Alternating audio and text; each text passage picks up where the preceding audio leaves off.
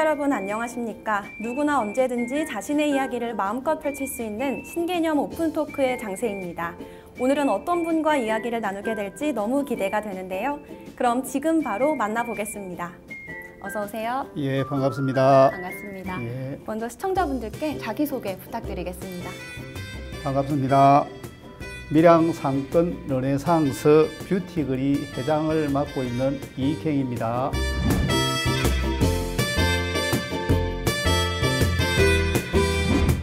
반갑습니다. 예, 반갑습니다. 현재 밀양상권 르네상스 원도심 대학로 뷰티거리 회장직을 맡고 계십니다. 제게 뷰티거리라는 말이 좀 신기하게 느껴지는데요. 이 거리는 어떤 거리인가요? 쇠퇴한 상권 활성화를 위해 상권 특색을 반영한 거점 공간 조성, 테마 구역 설계 운영, 페스티벌, 문화예술 공연 등을 추진하는 사업입니다. 뷰티 거리에는 피부샵, 네일 아트, 미용실 등 60여 가게들이 밀집되어 있습니다. 뷰티 거리라고 그래서 칭하게 되었습니다. 네, 알겠습니다. 회장님께서 이 뷰티거리에 대한 애정이 남다르실 것 같은데요. 아무래도 대학로 주변에 거리가 조성되어 있다 보니까 대학생들이 많이 찾으실 것 같습니다. 어떤가요? 예전에 밀양대학이 있을 때는 참 학생 숫자가 많을 때는 5천 명, 6천 명 정도까지 학생 숫자가 있었습니다. 자연스럽게 학생들을 어, 상대하는 업이 번성을 하게 되었고 그때 시- 어, 시점에 뷰티업이 많이 그 사업을 하게 되었습니다.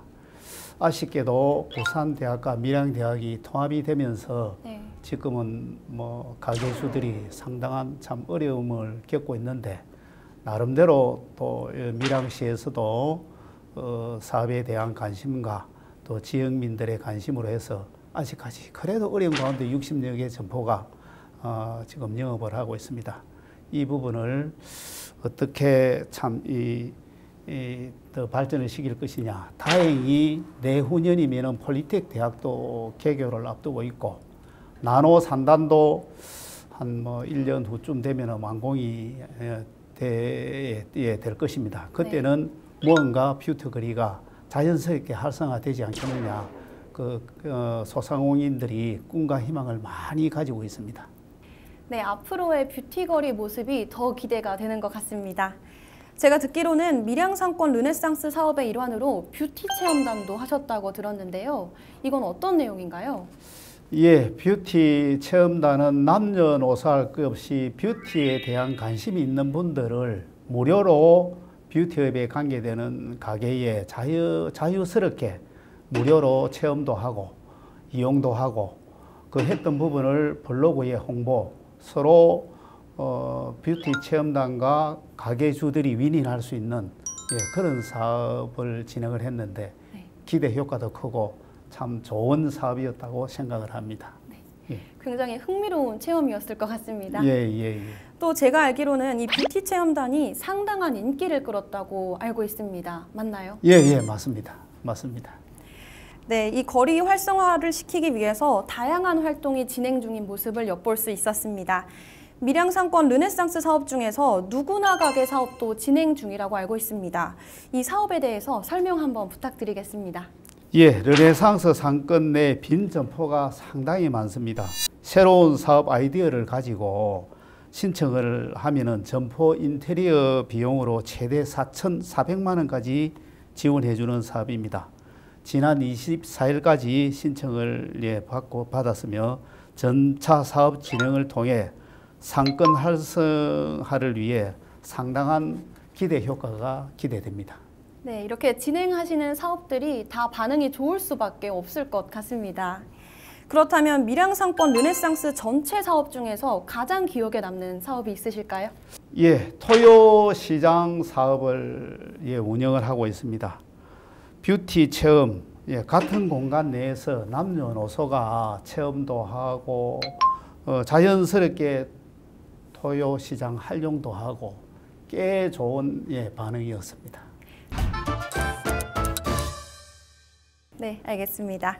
이 밀양상권 르네상스 사업에 대해서 밀양시 쪽에서도 굉장한 기대가 있을 것 같은데요. 어떤가요? 저도 상권 내에 저도 자영이 자 아, 자영업을 하는 한 사람으로서 현장에 실국장들 다 현장에까지 와서 애로사항이라든지 어떻게 해야 이 상권을 활성화시킬 수 있겠느냐 정말로 머리를 맞대고 참 고민도 많이 하고 연구도 많이 했습니다. 그래서 저는 시에서 추진하는 것은 우리 시민이 되었던 자영업자가 되었던 소상공인이 되었던 시에 협조도 많이 하고 서로 고민할 거는 고민도 하고 그래야 상생하, 상생도 할 뿐더러 발전이 되리라고 봅니다. 네. 또 이 회장님의 역할이 크신 만큼 어깨가 많이 무거우실 것 같은데요. 회장님, 회장님에게 밀양상권 르네상스와 뷰티 거리는 어떤 의미입니까? 참 저는 밀양에서 태어났고 밀양에서 초중고를 나왔습니다. 제가 뷰티거리 인근에 고등학교를 나왔는데 제가 고등학교 다닐 시절에만 해도 제가 오늘 김해에서 인터뷰 중인데 참 그때만 해도 밀양이나 김해나 인구면이나 경제면이 비슷했었습니다.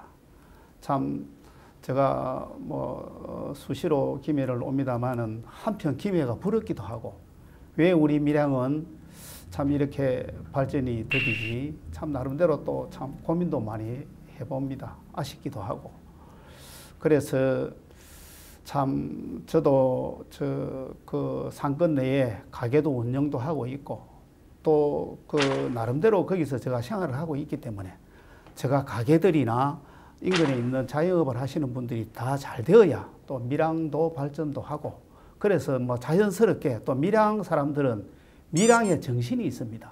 밀양의 정신이 뭐냐? 어, 밀양에 우리 그 인근에 의열거리라고 있습니다. 우리 김원봉 장군을 비롯해서 윤세주 열사 참 의열 옛날에 일제시대 때 독립운동을 한 어, 단일 거리 골목에서 밀양만큼 많은 지역도 저는 없다고 들었습니다. 그래서 밀양 사람의 피 속에는 의열 정신이 깃들어 있다고 생각합니다. 네. 저도 그런 정신의 영향이 아닌가 개인적으로 그렇게 생각을 합니다. 네, 알겠습니다. 회장님께서 이 밀양을 향한 마음이 너무 따뜻하셔서 저까지도 따뜻해지는 것 같습니다. 혹시 이렇게 뷰티거리 회장님으로서 다양하게 활동을 할 수 있었던 원동력이 따로 있으실까요? 예, 한마디로 말하면은 지역 사랑이고 네. 밀양 사랑입니다. 제가 밀양에서 태어났고 또 우리 밀양에 우리 선대부터 우리 밀양에서 쭉 어, 우리 생활 터전으로 살아오셨고 또 내 고장이 발전해야 되는 것은 당연한 거고 그래서 저 남은 기간 힘 닿는 데까지 밀양 발전과 우리 뷰티 거리 발전을 위해서 최선을 다하려고 지금 노력을 하고 있습니다.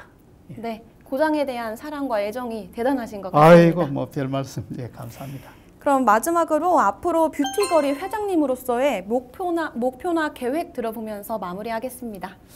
어, 조금 전에 제가 말씀드린 대로 어, 희망과 꿈이 상당히 큽니다.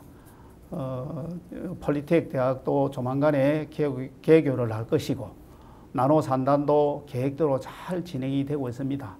완공되는 시점에 우리 중심 상가나 어, 전통 시장이나 어, 소상공인들이 웃을 날이 오지 않겠느냐. 그 기간이 멀지 않았다고 봅니다.